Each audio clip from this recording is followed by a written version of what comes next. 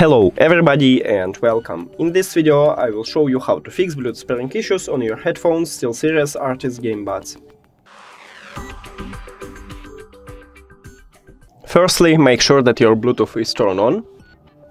Now click on your headphones to connect them. And we did it.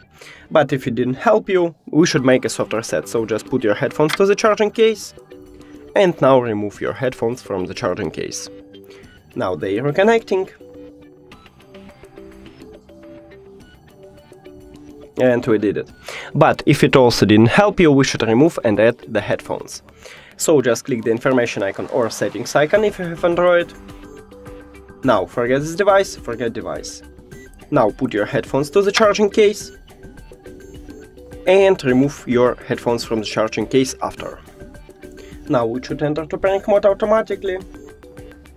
But if it doesn't, like I have right now, put your headphones to the charging case, then press and hold both buttons for at least 3 seconds. 1, 2, 3.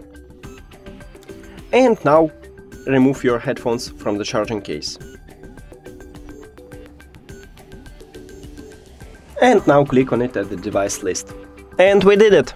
Thank you for watching this video. If you found it helpful, please consider subscribing to channel and leave the like on the video. It's really important to us. See you later!